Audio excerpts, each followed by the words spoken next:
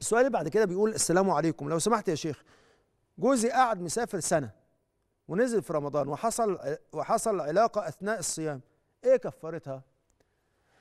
إحنا بنمشي حديث رسول الله صلى الله عليه وسلم واضح هنا إن الرجل جاء للرسول الله صلى الله عليه وسلم قال هلكت يا رسول الله أنا حضرة النبي ما كانش بيحب إن الناس تقول عن نفسها الكلام ده وكأن الرسول الله بيقول له طب واحدة واحدة قول لي عملت إيه؟ قال وقعت على أهلي في رمضان قال خلاص صم ستين, ستين يوم. قال له والله ما أقدرش.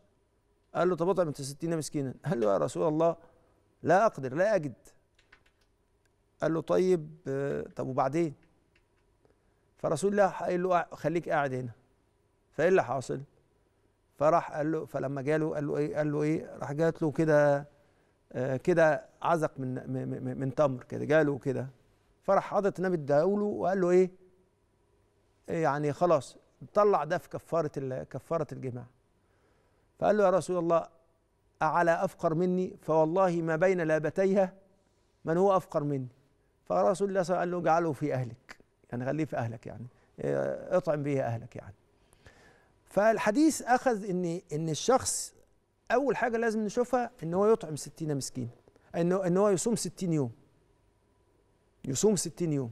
بس هو مش هيصوم ستين يوم بس ده هيصوم واحد وستين يوم. يعني ادي 60 يوم اهو دي الكفارة ويصوم يوم مكان اليوم اللي افطره. طيب طب وأنا؟ يعني بتسأل بقى الست أنا بقى اعمل إيه؟ هتصوم يوم واحد. إزاي؟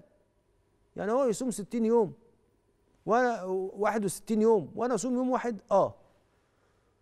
ليه؟ لأن هي افطرت بأن هي دخل شيء في جوفها فافطرها فهي عليها يوم واحد بس. ليه طيب؟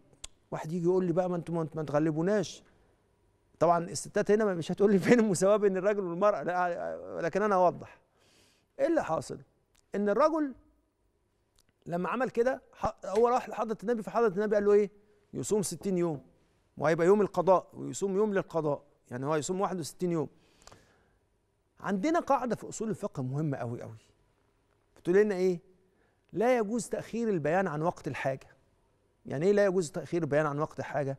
يعني لو كانت الست عليها صيام 60 يوم ما كانش حضرة النبي بأخر البيان. كان قال له إيه؟ أنت عليك تصوم 60 يوم وهي كمان عليها إن هي تصوم 60 يوم. أما وإن حضرة النبي صلى الله عليه وسلم ما قالش كده يبقى هنرجع إلى المسألة الثانية اللي هو إلى النظام المعتاد بأن من دخل جوفه شيء يصبح مفطرا فيبقى عليها يوم. طب والراجل؟ حضرة النبي قال له صوم 60 يوم يبقى الراجل يصوم 60 يوم.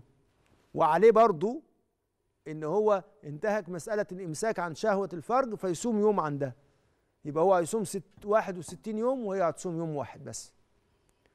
طب إذا ما كانش يقدر يصوم ال 60 يوم هيعمل إيه؟ هيطعم 60 مسكين. يبقى المسألة واضحة أهو. هو هيصوم 61 وهي هتصوم يوم واحد بس. ويبقى كمان إحنا محتاجين إن إحنا نتوب إلى الله سبحانه وتعالى لأنها معصية كبيرة.